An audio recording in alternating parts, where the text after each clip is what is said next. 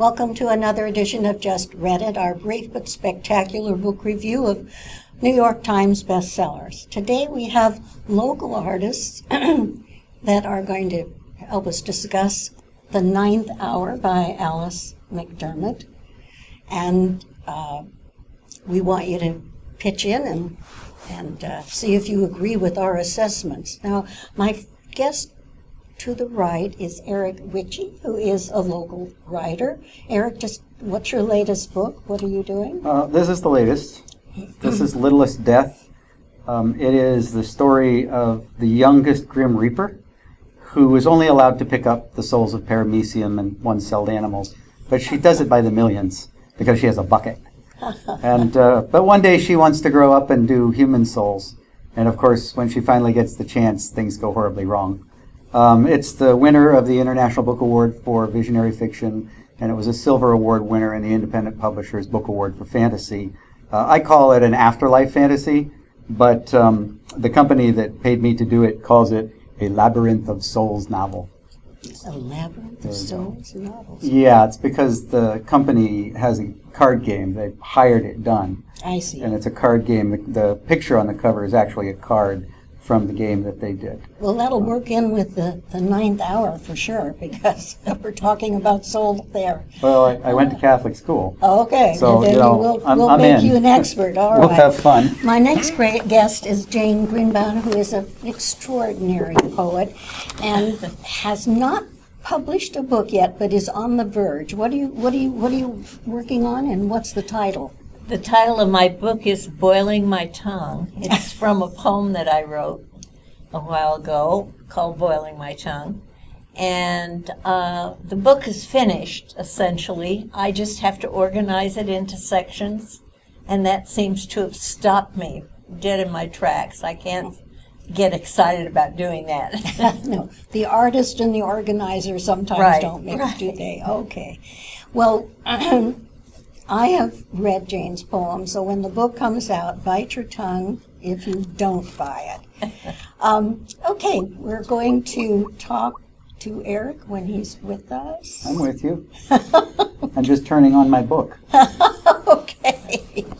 All right. Now, the book, as I said, is Alice McDermott's Ninth Hour. Ninth Hour means the the hour of Christ's death, and um, it's a Catholic background story of nuns. I wonder, perhaps, Eric, would you would you mind telling us what you think and stop reading your cheat notes? Well, it's it's a very dense book. it is a dense book. I mean, there there are three generations of people. There are uh, levels of suffering that are established. There's relationships between dogma and the church, faith in the church, and spirituality. There's a, a running theme of of the relationship of family and friends versus the relationship of the concept of sin. Um, you know, self-sacrifice, sacrifice for others. Uh, it is a very dense book, so I took notes. We're fool you. We kind of wing it around here. Well, one of the things that really fascinated me about the book was um, I had a, a teacher who was a nun who was called Sister Francis Xavier. And so there's the book starts out with Sister Xavier, And Sister Xavier sort of sets the tone for the moral ambiguity of dogma versus personal And, spirituality. and just briefly for the for our audience, how does how does she do that? Oh well, the one of the characters, Annie, has a husband who the book opens with the suicide. He kills himself. He's lost his job. He's clearly not made for working in the world that he's living in, and uh, he ends his own life. And the sister is literally walking home, and she sees a commotion, and she goes in, and she interprets it as God's will, taking her to this place to give succor to the suffering.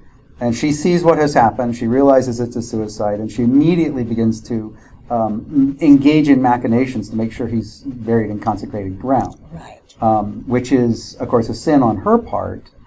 But that doesn't bother her too much because she can see the suffering of the family and the problems that will create. And so she's really trying to help these people, uh, and she fails. And that sort of launches the it launches the themes, it launches the character lines, it launches the base families for the stories. And it Um, launches so much grief. It does, and, and an endless Jane, stream of grief. What did you think? Uh, I love that book. I really did. In fact, I read it twice. I'm a reader. I I read continually. Um, I thought it was beautifully written, and I love the characters. She fills her characters with so much life. You can see them, you can hear them, you know. Um, and I'm sort of interested in the Catholic background. You said you went to Catholic school. I was a Catholic school principal. Oh, and I'm not Catholic. but at any rate, uh, I had some experience then, and I had a number of friends who were nuns who did wonderful things. So this book touched my heart. It really is a good book. Um, I love the fact that she made, you know, she took the risk of writing about nuns because McDermott, uh-huh. that is a risky subject matter. And it starts with a suicide and ends with a murder. Yes. And I, I thought that was really interesting. this is not your normal beach read, is it? You know? No, it isn't, but it's, I found it a really pleasantly easy read, you know. She has a very great writing style that you can just flow right through it. And what did you think about her style? Well, stylistically, she's a poet. Um, the way that she the way that she represents character in, in setting is poetic. So she'll establish the subjective interpretation of setting from a character perspective, but then she'll bring in objects, individual items that establish the history of everyone who's been in that that setting. Um, and that's uh, that's objective correlative. She's taking these objects and correlating them to emotional and, and historical states for the families. And so by having a character walk into a room, you don't just experience the character walking into the room, you experience the character walking into the history of an entire family. This is true. And that is a powerful, powerful set of techniques at work. I mean, this is, this is a master writer applying craft, and, and there's, no, there's no doubt about that. Um, I'm not sure that there was a murder.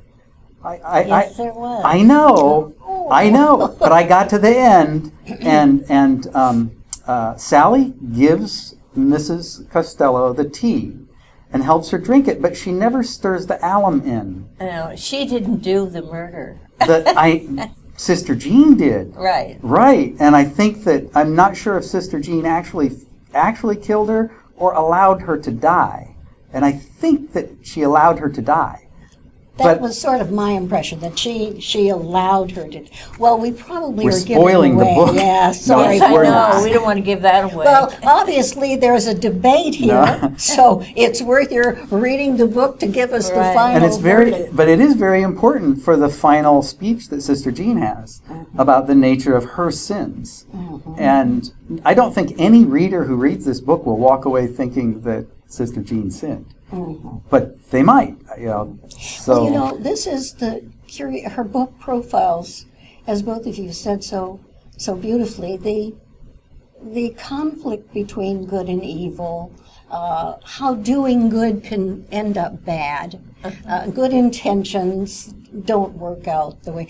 And, uh, she reminded me of the writer that I did some long study with, Flannery O'Connor, who was Oh, also yes. a Catholic, and uh, but was always pointing out uh, the almost humorous side of of the folly of being too good, or you know that, that life somehow trips us up. yeah. Did did that cross your mind? no I, I didn't i can't say that i thought of flannery o'connor um, i thought of a number of other writers Well, the the, the, the kind of folly or humor or Oh no, I, I, I think you're right. Yeah. But it, you, I didn't occur to me.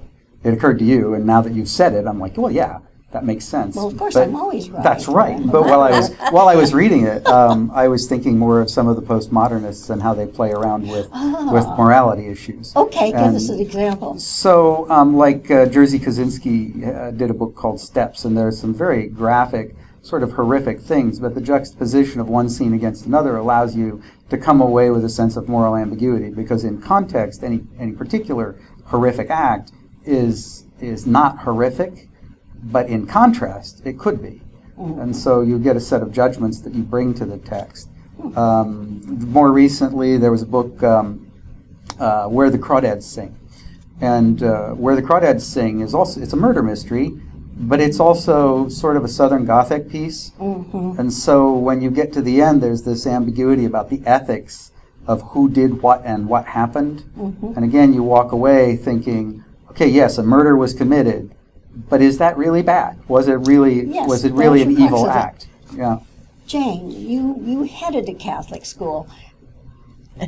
Do you feel that this notion, this constant dance of guilt and sin, good and evil, is You know, we in didn't. One And- of the nice things about doing that job was I got to design my own program, Mm-hmm. and I didn't put any of the church kind of values about Into it. sin or any of those things involved like that in the program for kids. Mm-hmm. We simply didn't do it.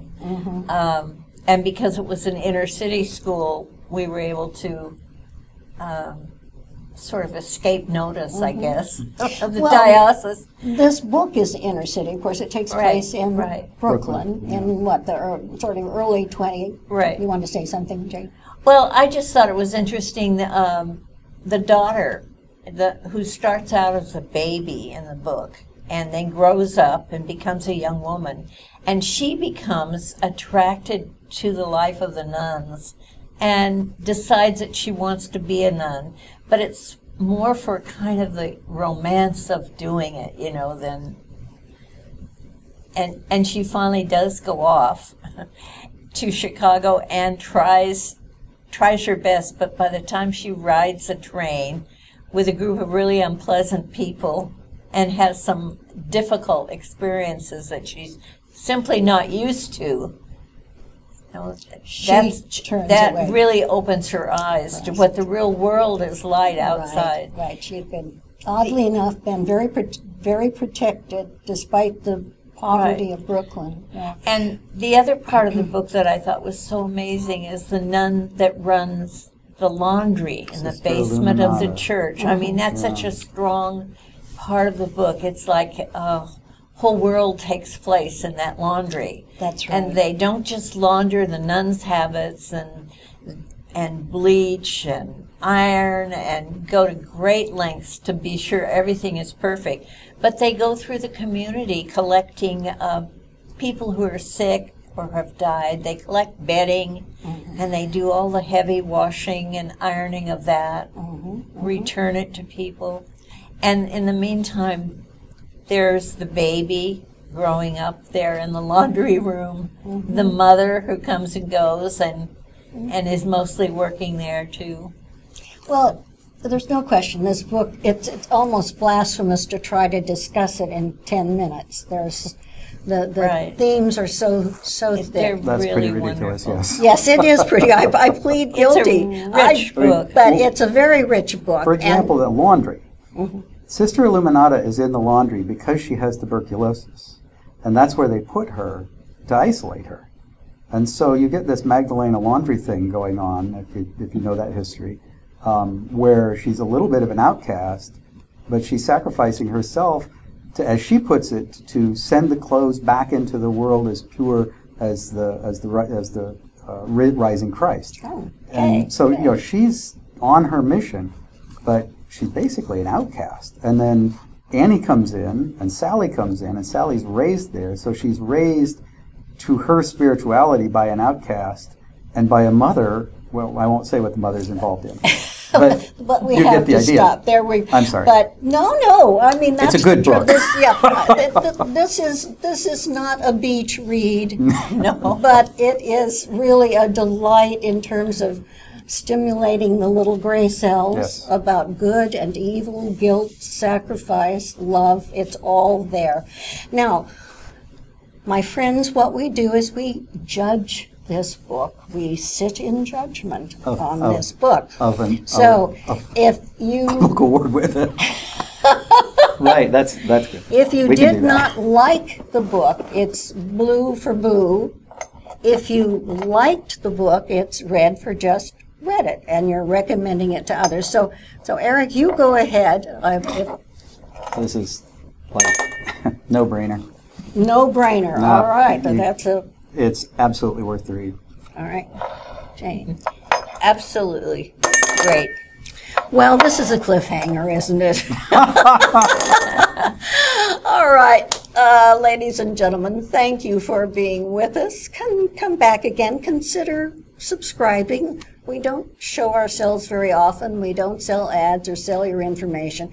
Come back and we'll keep you on the inside with what's the top of the bestsellers. And again, thank you, Jane. Thank you, Eric, for a delightful discussion of a fairly grim book. Oh, I loved it. Thank you, Caroline. All right. Thank you very, very much.